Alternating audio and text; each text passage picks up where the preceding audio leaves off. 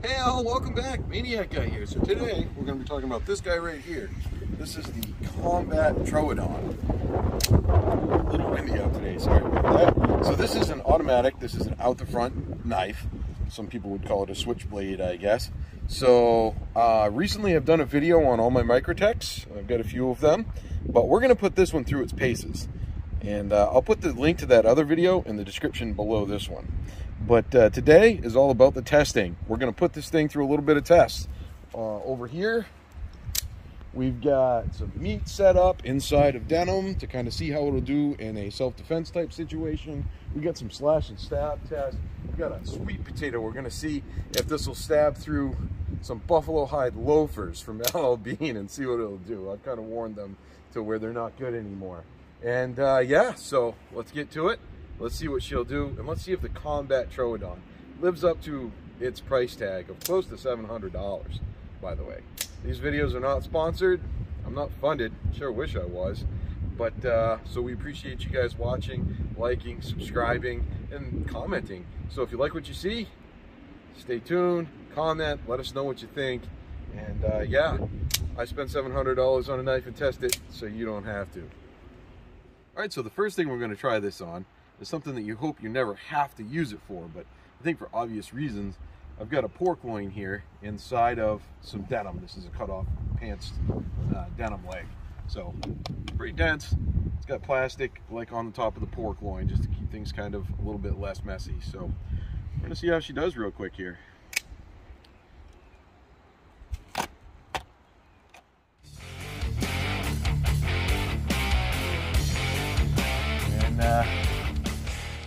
Real quick, I can tell you that sliced all the way through the jeans and through that loin and the stab went through to the tree.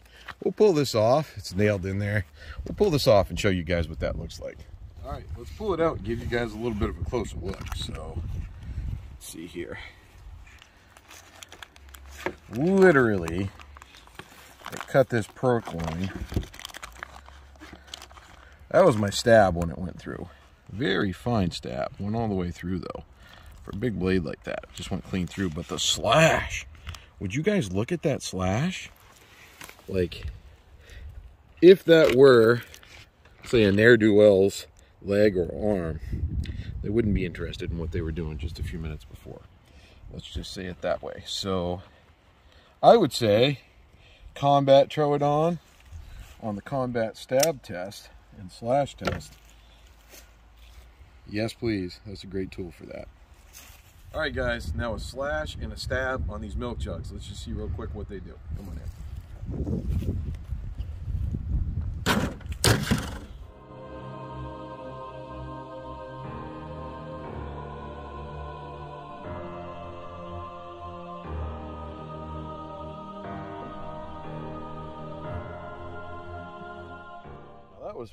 Pretty quick. Oh, don't know. We got a little slash in there. It's hard to slash through that stuff. I mean, obviously it stabs with zero effort in this stuff. Really nice precise stabs. This one's a little thicker. So yeah, slash not bad. Obviously on the meat it did great. It did puncture here, which lots of knives, they don't like to slash with that little reverse slash on that. But there we go. Okay, so this part here is going to be the closest to a torture test as we're going to do today. And that's to take this sweet potato, put it in this top grain buffalo hide shoe. And considering that they used to use this kind of stuff as armor to stop arrows, I'm going to put some gloves on just to protect myself. We're going to come down as hard as we can, see if we can't puncture that and get into this. So it's going to test, I think, the action of this knife to see if it knocks it like offline or so they say and it's also going to test the sharpness of the steel and we're going to see if we tweak or roll anything. A little nervous with the knife that cost me this much money. That was as hard as this was for me to track down. But hey let's do it. Okay guys here we go. Ah holy frick. Well i guess it went right through that and my table. Uh-oh don't tell my wife. Uh yeah, that was not anticipated. Wow, she's in there good though. Um, sweet potato wasn't safe. Shoes didn't even come close to stopping it. Now, here's the test. Actually, let's wipe her off real quick. It's the one thing with these, you don't want to get crap up inside. She's golden. And everything is right and true.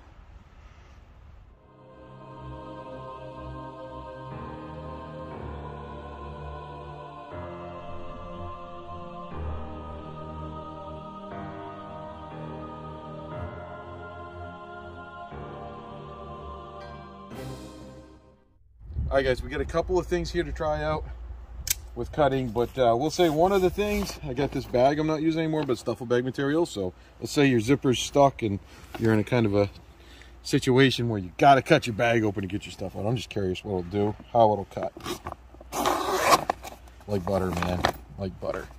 No problem. So let's just keep on moving, shall we? Uh, I got some nylon cord here, and this is after all the other tests. Clearly I haven't sharpened this, so just see how she'll do. No problem. Let's double it up and just see if it'll go through two strands of it. No problem. 550 paracord, or no, this isn't, sorry. This is cotton rope.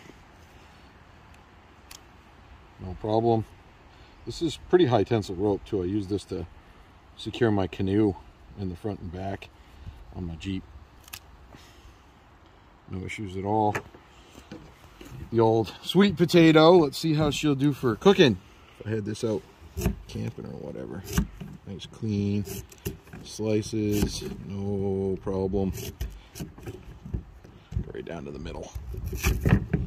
No issues. All right. All the makings of some stone soup here. All right, and last but not least, I've got this uh, tomato. Really, I don't know if you guys can make that out, but she's uh, she's she's gone. She's pretty far gone. Super thin skin. So the question is, we'll just do this straight on the table. I already put a hole in it. And uh, the question is, am I just going to be able to go straight onto this and just slice straight through it? I don't know. Look at that. Look how sharp that is. And this thing, I tell you right now, is like rotten, rotten, rotten, like bad. Now, normally with a kitchen knife, I'd do that. But yeah, she'll. She's sharp enough to actually slice that rotten tomato. So, there we have it. With the Combat Troodon. So, by the way, while I'm at it, it's a common misconception that uh, you can shoot this into your into yourself and that it'll just shoot right through something because holding this on here. It's gonna hurt, but it didn't shoot right through it. Now it's kind of floating, so now I just lock it back into place. And again, I like to clean the blade because I don't want to get anything in the tracks. So the whole, yeah, you'll shoot it in your pocket. You know, you shoot your eye out, kid. That's not going to happen. So there we have it. So the Microtech, oh, hold up. One last thing here. Uh, so this is a glass breaker. I didn't bring any glass with me, but you see it's got the tri-wing kind of thing going on there.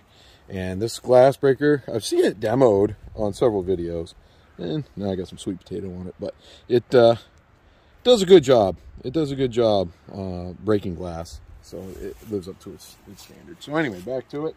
Uh, so this is the Microtech Combat Troodon. I give it an A plus rating. Uh, I think you spend seven, eight hundred dollars on a firearm.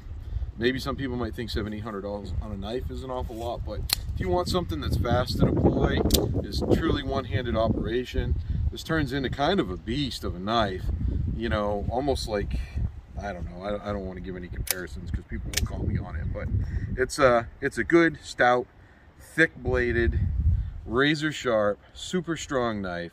Uh, gets my A plus rating.